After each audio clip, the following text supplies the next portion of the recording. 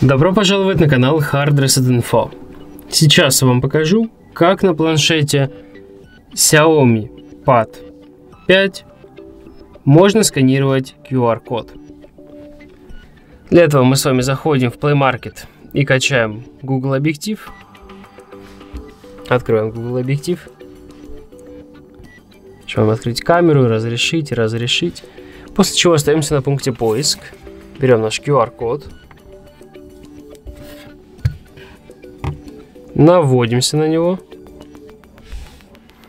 Нажимаем на ссылочку, которая у нас появилась. После чего нас перебрасывает на сайт. И вот и все. Вот так вот легко можно считать QR-код. Ставьте лайки, подписывайтесь на канал, а также посещайте наш сайт hardreset.info. До скорых встреч!